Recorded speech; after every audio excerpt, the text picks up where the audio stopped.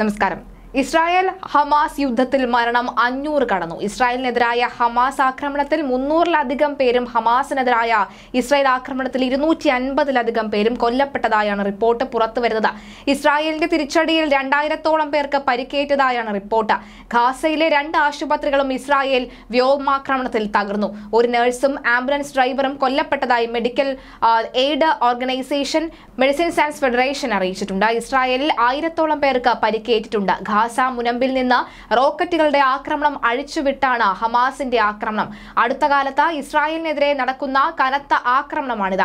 ഇസ്രായേലിന്റെ മുതിർന്ന സൈനിക ഉദ്യോഗസ്ഥരെ ഉൾപ്പെടെ ഹമാസ് ബന്ദിയാക്കി. ബന്ദികളാക്കിയവരിൽ സ്ത്രീകളും കുട്ടികളും ഉൾപ്പെടും. ഇവരിൽ പലരെയും ഗാസയിലേക്ക് കടത്തിയതായും റിപ്പോർട്ടുകൾ പറയുന്നു. ഏറ്റുമുട്ടലിൽ ഇസ്രായേലിന്റെ ഐ ഡി എഫ് കമാൻഡറും കേണൽ ജനാദൻ സ്റ്റെയിൽ ബർഗ് കൊല്ലപ്പെട്ടിട്ടുണ്ട്. യുദ്ധത്തിൽ ഇസ്രായേലിന് പൂർണ പിന്തുണ എന്ന് അമേരിക്ക അറിയിച്ചു. ഇസ്രായേലിന് സഹായം നൽകുമെന്ന് പ്രസിഡന്റ് ജോ ബൈഡൻ പറഞ്ഞു.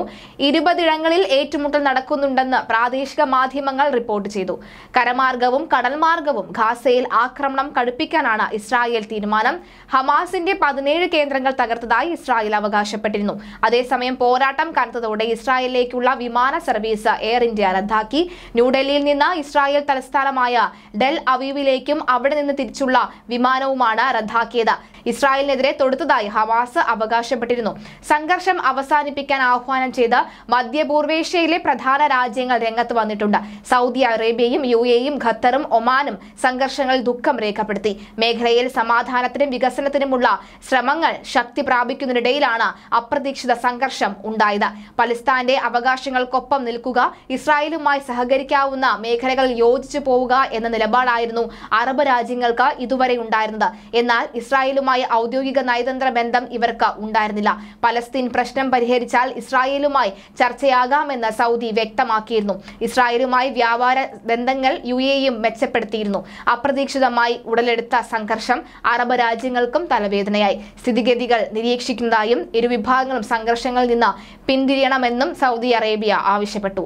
സംഘർഷത്തിൽ നിന്ന് പിൻവാങ്ങാനും സമാധാനം പുനഃസ്ഥാപിക്കാനുമാണ് യു എയുടെയും ഖത്തറിന്റെയും ഒമാന്റെയും ആഹ്വാനം. അന്താരാഷ്ട്ര ഉടമ്പടികളും കരാറുകളും പലസ്തീന്റെ അവകാശവും സംരക്ഷിക്കാൻ അന്താരാഷ്ട്ര സമൂഹം ഇടപെടണമെന്നും ഖത്തർ ആവശ്യപ്പെട്ടു.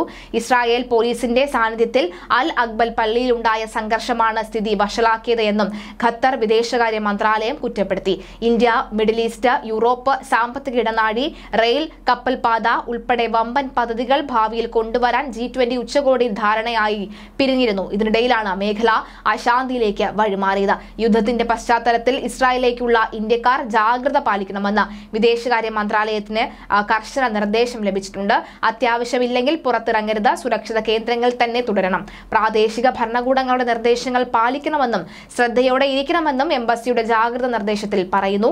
മലയാളം ഉൾപ്പെടെയുള്ള ഭാഷയിൽ എംബസി മുന്നറിയിപ്പ് പുറത്തിറക്കിയിട്ടുണ്ട്. അടിയന്തര സാഹചര്യങ്ങൾ ഉണ്ടായാൽ ബന്ധപ്പെടുന്നതിനായി ഏഴ് രണ്ട് മൂന്ന് അഞ്ച് രണ്ട് രണ്ട് ആറ് ഏഴ് നാല് എട്ട് എന്ന ഫോൺ നമ്പറിൽ വിളിക്കണമെന്നും എംബസി അറിയിച്ചു. പതിനെട്ടായിരം ഇന്ത്യൻ പൗരന്മാർ ഇസ്രായേലിൽ ഉണ്ട് എന്നാണ് മന്ത്രാലയത്തിന്റെ കണക്ക്.